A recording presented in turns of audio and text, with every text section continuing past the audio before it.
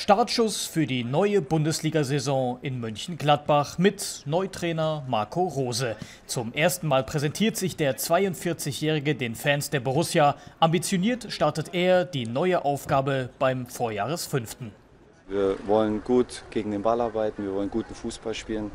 Ähm, wir wollen die Leute mitnehmen, wir wollen die Leute abholen, ähm, äh, gerne auch Spektakel äh, haben. Aber vor allen Dingen ist auch wichtig, dass wir Punkte holen. Wir sind im Profibereich, äh, spielen Bundesliga, Europapokal. Ähm, wir wollen einen guten Fußball entwickeln und das weiß ich, das dauert ein bisschen. Es äh, braucht ein bisschen Zeit, vor allen Dingen, wenn du so einen, so einen Paradigmenwechsel hast. Aber äh, ich freue mich drauf, es ist viel Arbeit, aber wir gehen es mit viel, viel Energie an.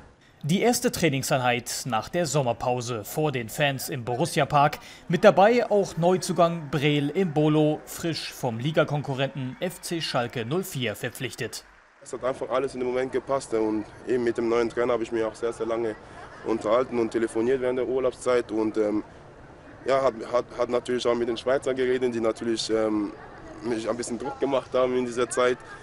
Ähm, konnte aber wirklich in dieser Zeit äh, auch in Urlaub ab, abschalten, mich Gedanken machen und dann habe ich mich auch für den Schritt entschieden. Der Schweizer frisch zurück aus der Verletzungspause, muss aber noch etwas kürzer treten. Wir wollen jetzt nicht von, von 0 auf 100, weil ich eben vier Wochen jetzt ähm, den Fuß ruhig stellen musste und dann kann es ja nicht sein, dass ich jetzt von 0 auf 100 jetzt wieder hier mit der Mannschaft ähm, direkt einsteigen kann. Deswegen ähm, hat, hat, man so einen Plan gestellt, dass ich jetzt ähm, ähm drei, vier Wochen mal ruhig ähm, eben so eine Vorbereitung vor der Vorbereitung machen kann und, und hoffe natürlich, dass ich spätestens dann im Trainingslager einsteigen kann. Ob das dann so kommt, ähm, wissen wir nicht. Die Natur hat seine eigenen Regeln, aber ich bin sehr, sehr optimistisch. Neue Trikots, neuer Trainer, neuer Millioneneinkauf, Borussia Mönchengladbach und der Startschuss zur Vorbereitung auf die neue Saison.